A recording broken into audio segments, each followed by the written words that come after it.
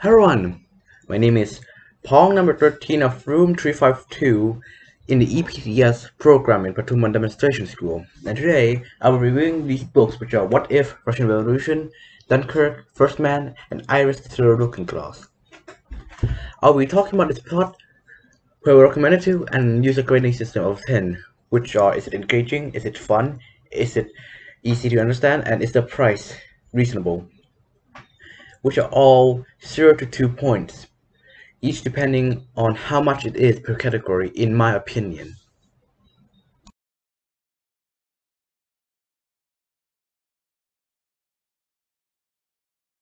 What If is a book about answering ridiculous or stupid questions with scientific facts.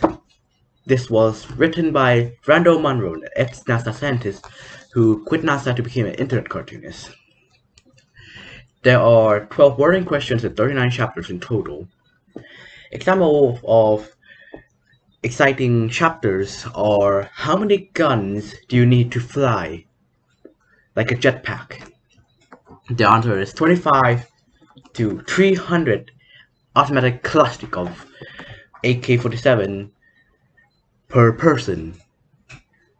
Or if you build a pod with uh, the Gush Shipunov 630, it can launch a person over a mountain in the Himalayas. But it will need very good cooling. Or the another exciting question is how many watts or kilowatts does Yoda from the original Star Wars produce? The answer is um, less than I expected, which is 19.2 kilowatts, which is just 30 baht per hour example boring question. So what happens if we throw a baseball at 90% of the speed of light? The answer is um, it will blow up an entire city. It's quite funny too. And another example, funny question is, is it possible to brew tea with only stirring it with a spoon? The answer is no, because all the tea will leak out onto the table you're drinking it on before you, it even boils. The questions which are very worrying in the author's mind is Is it possible to not to get injured from getting stabbed? Or how many nuclear bombs does it take to blow up the US? Or how many calories does a human have? I personally think What If is a fun and educational book that you can read anytime, although it's highly recommended to people of all ages, especially people who like science fact.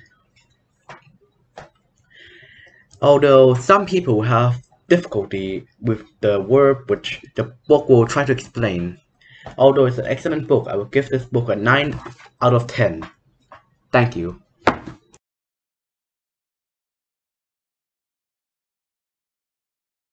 Second book I will be reviewing is The Russian Revolution, a short story.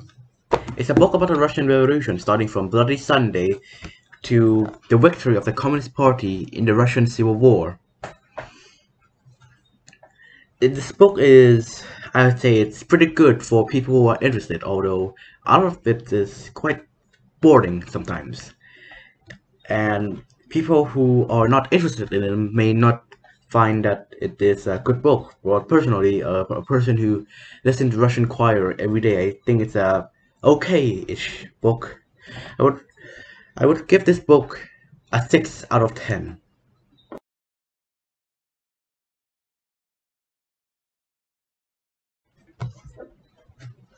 First Man is a biography about Neil Armstrong with wonderful pictures as seen here and start with Neil Armstrong ancestors moving from Great Britain to the United States. Neil Armstrong was born in 1930 and finished university in 1970, where shortly after married his first wife. In his first assignment with NASA, he would be the backup commander for Gemini 5 and would only go to space in Gemini 8. Later in the Apollo program, he was assigned as the main commander of Apollo 11, where he said the, famous quote, One Small Step for Man, One Giant Leap for Mankind. The book does a great job of getting the reader to feel suspense, even though we already know the outcome, which that's what I feel personally. It later continued about the outcome of Apollo 11, which Neil himself got to visit the USSR during the Cold War, which is which is a bit worrying since you know he just made the other country lose a space race. And my favorite part is that Buzz Aldrin punched a conspiracy theorist and was sued by that conspiracy theorist. Although Buzz Aldrin did win in that case. During the time before his death, Neil Armstrong received so many fan mails that he needed to hire another man to just acknowledge the mails for him. I would actually recommend these books to people who are interested in spaceflight, spaceflight history, Cold War history, the Apollo program, the Gemini program, or Neil Armstrong personal history. I would like to give this book a 8 out of 10.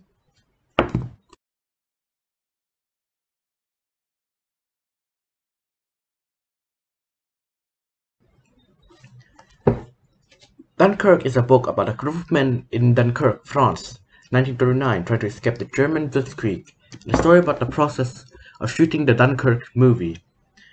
During 1938 to 1939, the economy of most of the major Allied countries is experiencing economic depression from the last World War, and youth are currently the most important generation. In England, most children are working hard to support their families and spend their allowance in movies and fashion. In Germany, most children are taught in a specialized program that are brainwashing children into Nazis. In the USA, there was a Great Depression. In 1939, France and England declared war on Germany. The Wehrmacht quickly took control of Rhineland using mass raids, blitzkrieg, and invasion of neutral countries. The Allies were pushed back until they were only one large port left for evacuation, and that was Dunkirk. Dunkirk at first was chaotic, friendly fire, almost capsizing ship, and Stuka raids, and Messerschmitt and Fokkers strafing the ground. The chaos almost stopped when a naval officer arrived at Dunkirk, where he arranged and ordered the men there to have a planned evacuation. The RAF couldn't help much because the ground troops were shooting at every plane they can see because they do not know how to identify each plane, even though they were trained to do so. One of the RAF pilots who landed on the beach was yelled at by a couple soldiers for not providing support even though they did. So they used that RAF officer or pilot as a person to identify aircraft for them. After returning to England, the soldiers were well received, getting free coffee, meals, newspaper, and more.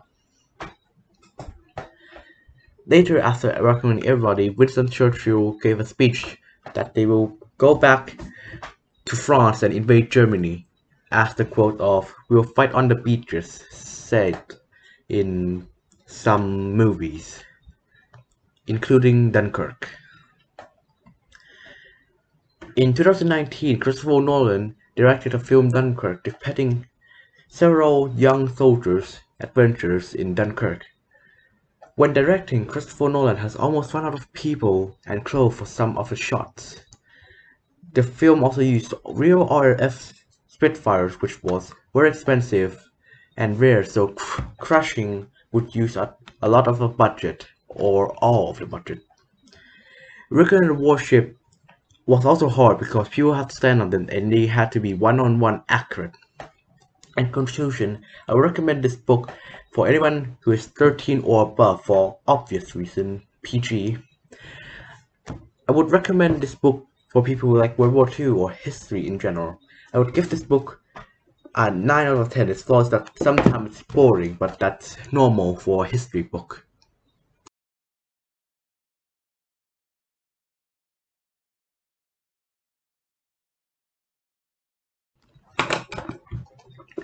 Iris Through the Looking Glass.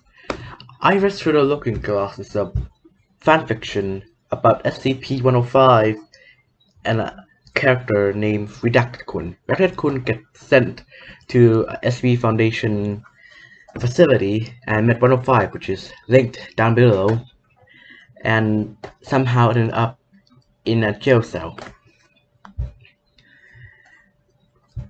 They became friends after on and after adventures with a few other SCPs also linked down below, couldn't find his way back to where his origin is.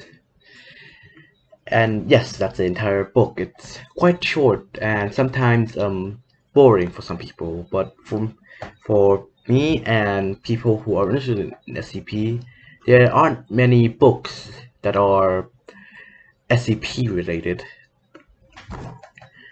I would give this book a 5 out of 10.